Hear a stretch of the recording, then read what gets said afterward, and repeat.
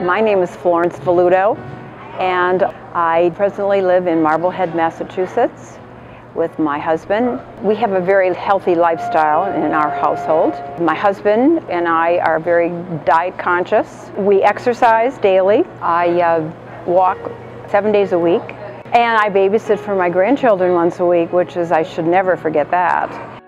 I uh, found out just from a routine mammogram that I've scheduled once a year for many years. I can't remember how long, but there have been lots of years. And this one, I um, just went in as usual, but I got a phone call a week later, and I knew when they called me back that something was up. They took another film and said, you must come over to uh, Mass General, which was right across the street from where I had my mammograms at the Women's Health Center. They concluded that it was in fact a cancerous tumor.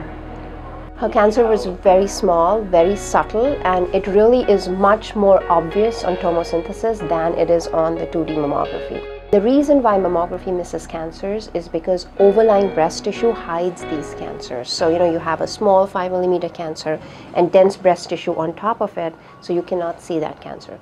Tomosynthesis removes the overlying breast tissue, so it helps us look through breast tissue, so we're able to find subtle architectural distortions, small cancers, much faster. Everything went very quickly. I was so pleased because the waiting is worse than actually going through it. The nurse right then said, I want to book you for your appointments with the three doctors who are going to be working in, on your case. From there, um, which was about a two-week interval, I had surgery, and the day after Thanksgiving, I started my radiation. The treatments are painless. The machine goes around, doesn't touch them, goes around, treats them. They're in the treatment room 10 or 15 minutes.